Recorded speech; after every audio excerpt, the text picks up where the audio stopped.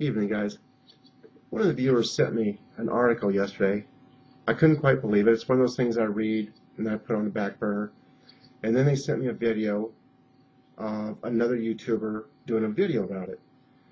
And I thought, maybe it is for real. So I went and checked it out again, and sure enough. And it's called, well, here's what it is. It's 30 or 40 black kids at an Iowa State Fair, and they announced it was going to be Beat Whitey Night. And they went around and they beat the hell out of a number of white people. One of the guys, Jamie Carroll, 36 years of age, he had serious damage done to his cheekbones, his eye sockets, um, nose. He had to go into the hospital. A couple of cops got hurt trying to break up a brawl.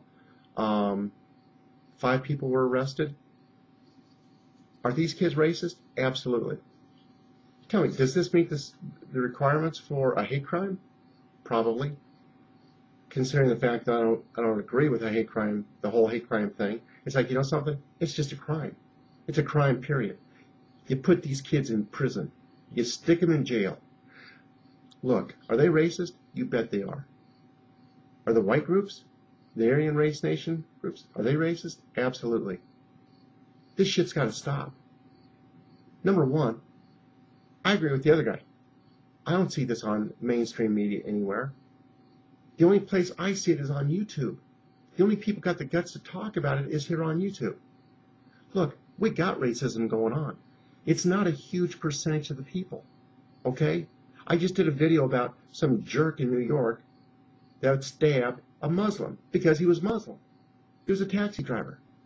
He, he gets in, he goes, Are you Muslim? He goes, Yeah. And he just starts stabbing him. Anyway, I mean, it, it wasn't quite like that. I mean, the guy got in, he seemed nice, he was inebriated. Anyway, here's the bottom line. Yes, we've got racism. And when, when stuff like this happens, these people need to go to jail. When the cops see, if they see 20, 30, 40 white kids roaming around looking for a black guy to beat up, or anyone else to beat up, you know something? They need to go to jail. We need to let the people, the young kids in this country know that racism is not okay. And it starts at the top. Barack Obama is one of the biggest racists we've ever had. He's one of the biggest dividers this nation's ever seen.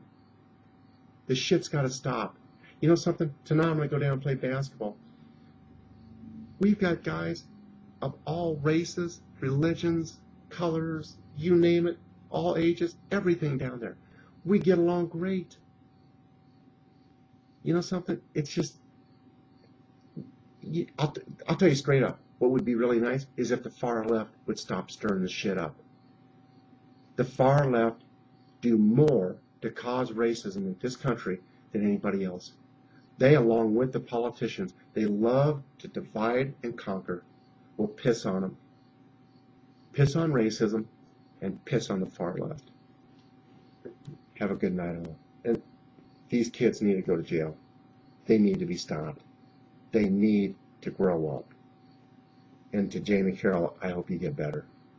Bye bye all.